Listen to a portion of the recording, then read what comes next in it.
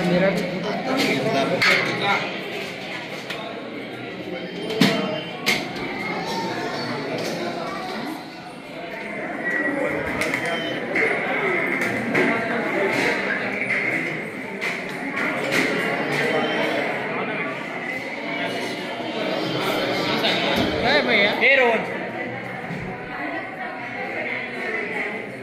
काय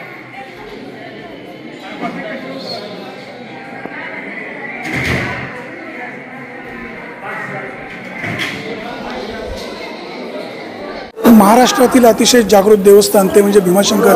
भीमाशंकरच्या दर्शनासाठी दररोज हजारो भाविक या ठिकाणी एकत्र येत असतात. या भाविकांच्या दर्शनासाठी कोणत्याही प्रकारे गैरसोय होऊ नये या संदर्भामध्ये आपण पाठीमागे पाहतोय. ही सगळी यंत्रणा या ठिकाणी लागलेली आहे.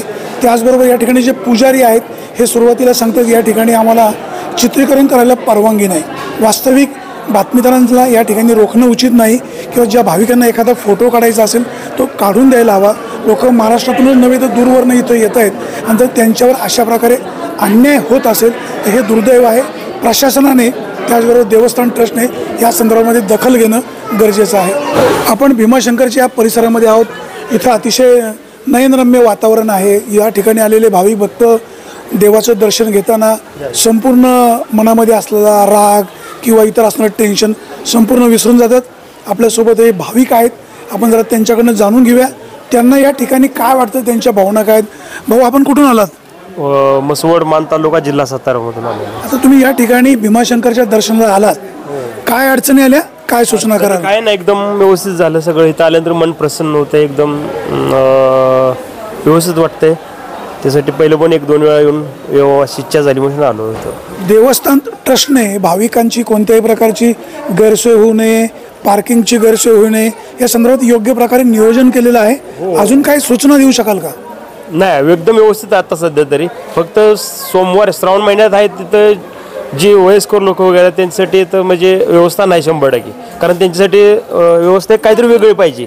कारण वयस्कर लोकांचं एक बाहेरून जे येते त्यांच्यासाठी एवढं लांब पार्किंग केल्यानंतर नंबर चार नंबर दोन नंबर तीन नंबर तिथून इथे यासाठी ॲक्च्युली आहे म्हणजे त्रास आहे थोडा त्यांना. म्हणजे वयस्कर लोकांचं थेट दर्शन करण्याची वेगळी व्यवस्था करावी. म्हणजे चार्जेस वेगळे घेतले तरी चालतील. बरोबर आहे बरोबर आहे. चार्जेस तर घेतले तर चालेल पण व्यव- व्यवस्था होणं गरजेचं आहे. तुमचं काय नाव? नरेंद्र कानेकर नाव आहे माझं. मी पण पुण्यातून आलेलो आहे. साहेबांचा मित्रच आहे. साहेबांना खूप प्रेम आहे देव देवस्थान. आणि साहेबांचं सगळ्यात महत्त्वाचं एक अ, त्यांचं एक जी खासियत आहे मंदिराबद्दल ती तुम्हाला सांगतो.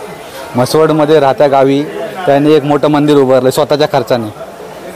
आणि त्याचं आता अठरा तारखेला मोठं उद्घाटन समारंभ तिथं सोहळा आयोजित केलेला आहे त्यांच्या स्वखर्चाने तर आम्ही सगळे किती रुपये खर्च करून मंदिर बांधले आता त्याला खर्च अकरा लाख रुपये खर्च झालेला आहे. अजून थोडंफार खर्च होणार आहे.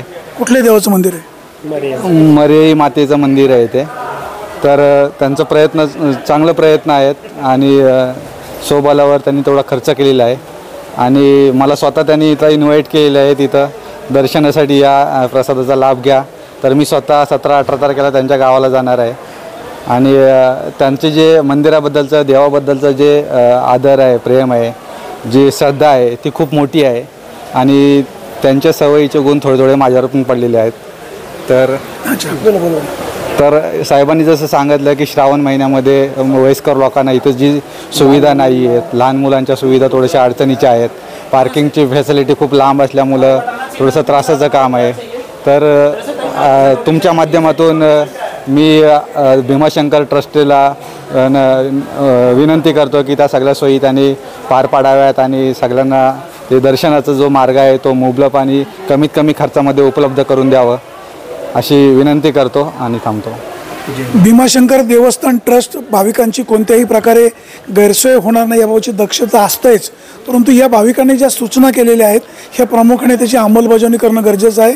कारण श्रावण महिन्यामध्ये इथं प्रचंड गर्दी असते आणि आतमध्ये सुद्धा जे काही रक्षक असतात पुजारी असतात काही प्रमाणात त्यांच्याकडनं अडवणूक होण्याची शक्यता नाकारता येत नाही. प्रशासनाने या संदर्भामध्ये दखल घेणं गरजेचं आहे.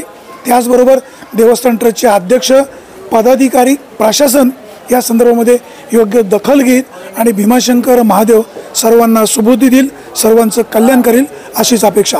सुरेश वाणी विघ्न टाइम्स भीमाशंकर.